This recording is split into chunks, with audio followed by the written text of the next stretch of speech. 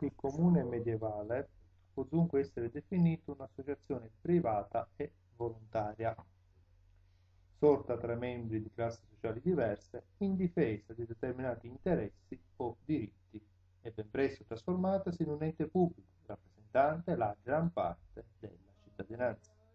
Ovviamente quando parliamo di gran parte della cittadinanza noi non intendiamo la totalità della cittadinanza, ma ovviamente la parte diciamo più eminente, la parte più importante dal punto di vista socio-culturale della comunità di appartenenza. Alcune categorie di persone, infatti, come gli ebrei o le donne, oppure i ceti più umili, gli operai, i nulla tenenti, pur risiedendo all'interno del comune, non ottennero mai il diritto di partecipare in maniera attiva alla vita politica, cioè alla direzione del, del comune. Particolari furono i rapporti tra i comuni e il contado, perché ovviamente noi dobbiamo immaginare questi comuni come circondati da ampie zone contadine, zone rurali, confinanti anche con ampie zone boschive. Lo sviluppo dei comuni contribuì a eliminare il feudalesimo, non solo entro le mura dei centri urbani, ma anche nelle campagne circostanti. La presenza dei feudatari che imponevano le tasse e i dazi, dazi doganali, cioè le tariffe da pagare sulla circolazione delle merci, ma anche sulla circolazione degli uomini, rappresentava un ostacolo, un documento, un problema anche, un limite allo sviluppo dei commerci e dunque anche alla libertà di movimento dei mercanti e di ogni cittadino. In questo modo sorsero delle lotte forti, aspre tra il comune cittadino e i feudatari delle campagne,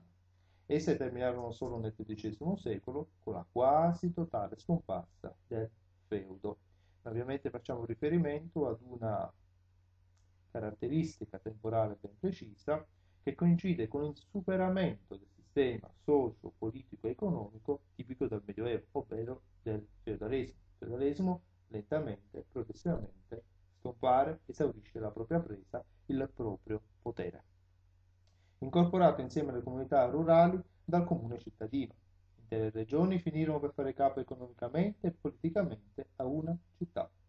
Il comune, pertanto, almeno in Italia, diventava una sorta di piccolo Stato, qualcosa di simile alle poleis greche, una piccola comunità statuale fondata su una completa fusione tra il centro urbano e il territorio rurale circostante, il cosiddetto contado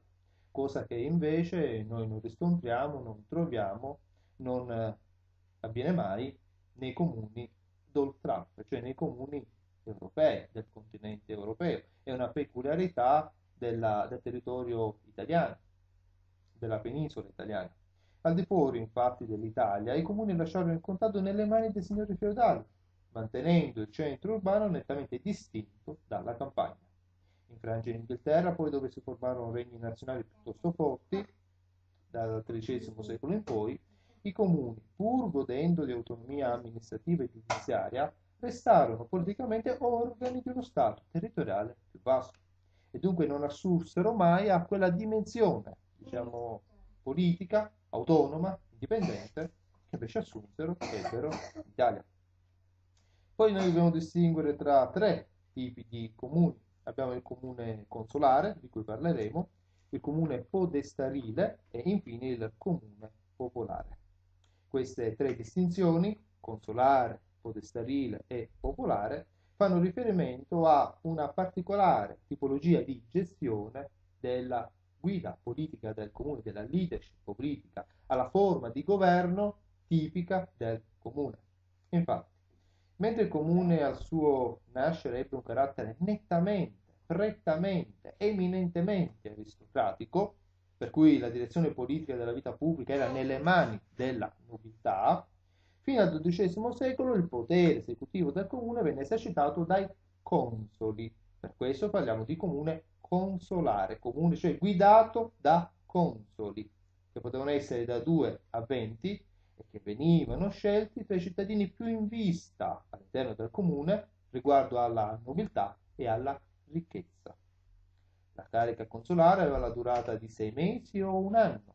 e prevedeva, contemplava l'esercizio di molti compiti, tra i quali amministrare la giustizia, gestire le finanze, dichiarare la guerra, ratificare la pace, stringere alleanze o stipulare trattati internazionali, nonché comandare la milizia cittadina, cioè il piccolo esercito a disposizione del.